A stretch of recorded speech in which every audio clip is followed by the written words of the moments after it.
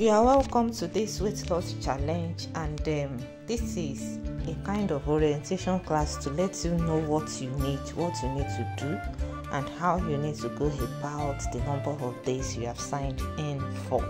When things change, or if you have questions, please send to the group. I will gladly be there to answer you.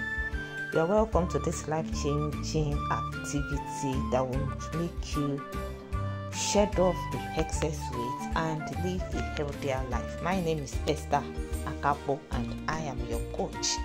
Now, what do you need for this challenge?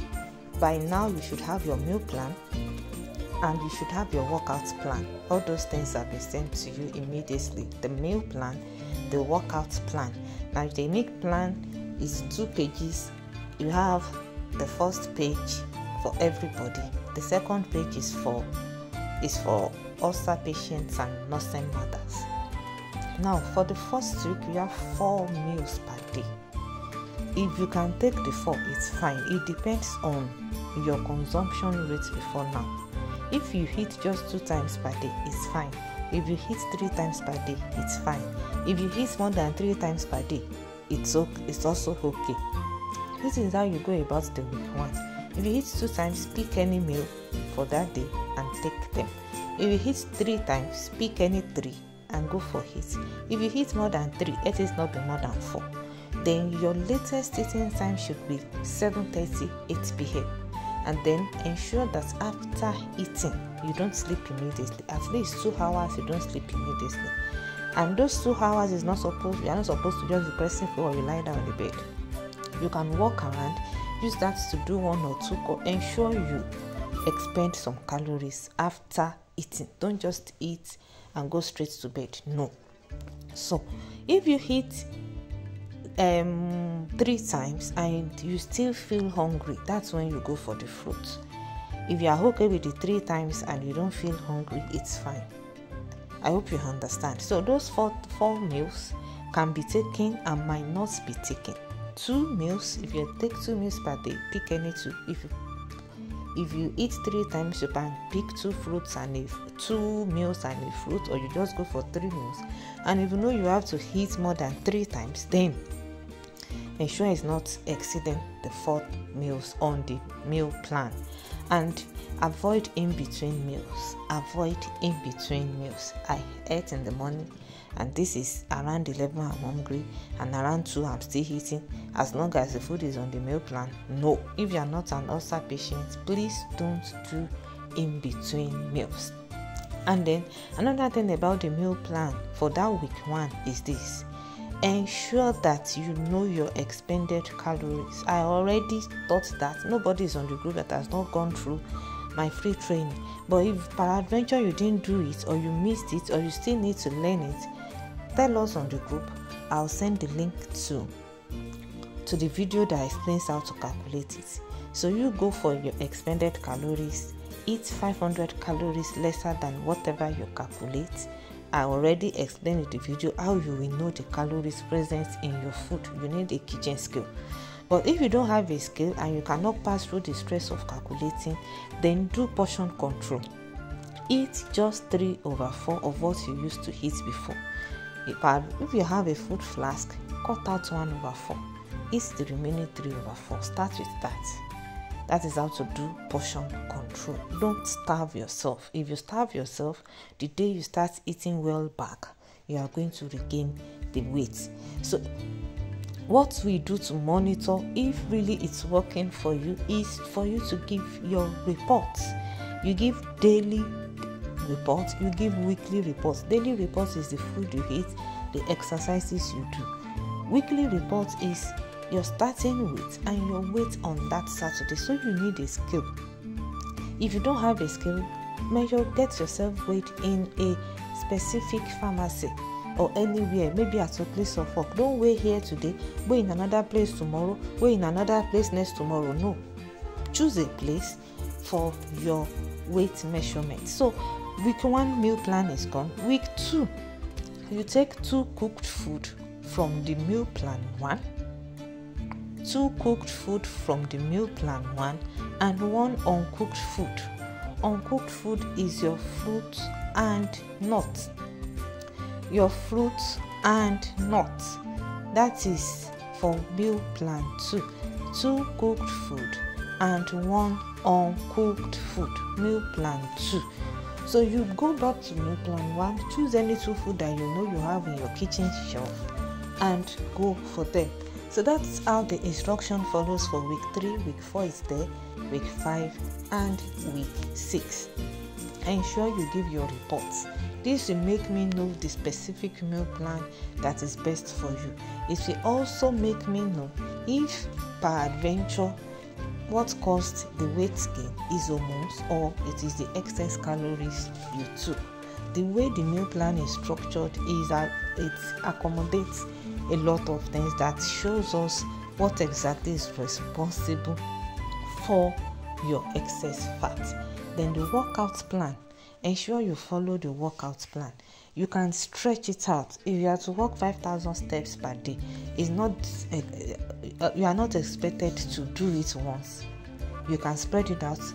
Uh, walk 500 in the morning walk another 1000 later walk another 1000 later and all that. And if you want to do it at a stretch it's fine.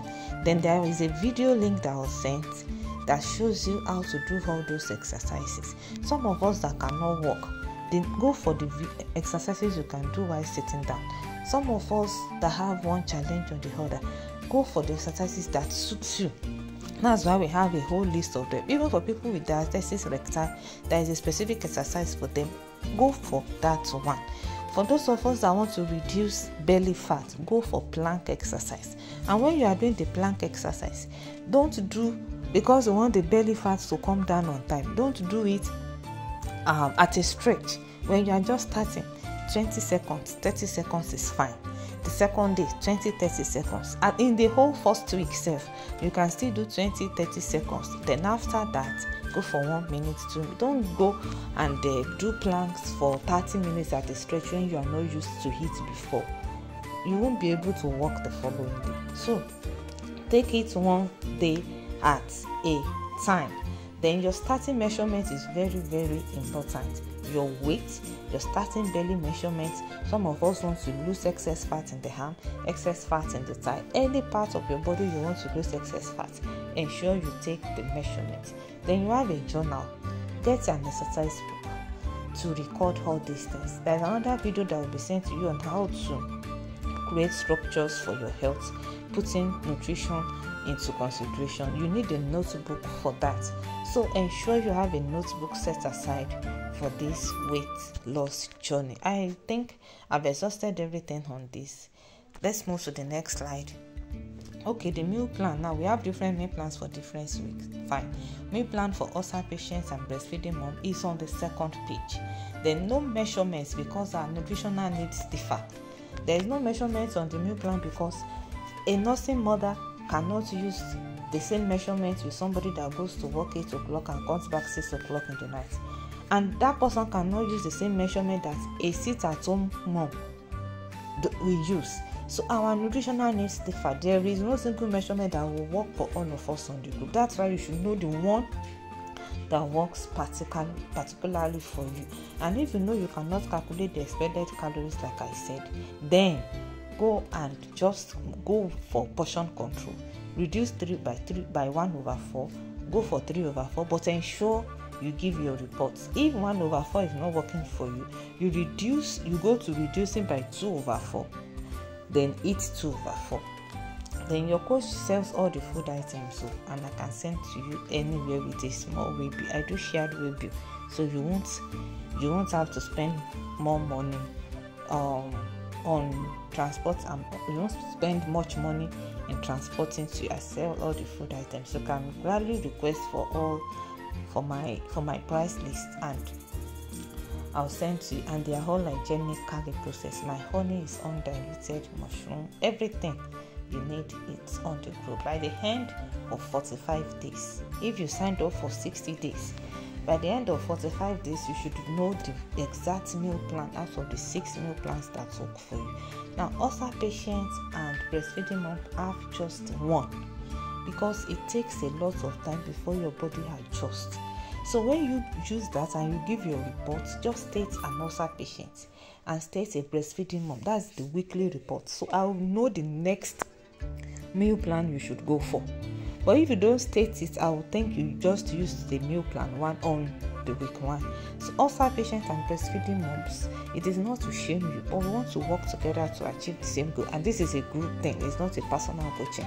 So just give your reports and state it there so that i will know the next meal plan you should go for. Now the workout plan i've also explained the daily work the brisk walk is compulsory for everybody then you now do other exercises as it relates to where you want to lose weight. There are other links to exercises there. Start small and gradually increase the minutes. But if you cannot walk please don't. Go for exercises you can do while sitting down. Give your reports daily reports your exercises with a screenshot or picture on the group. Daily report your meals with a screenshot for corrections if necessary you can participate in the Walk to Keep Fit challenge, but that takes place on my Facebook page.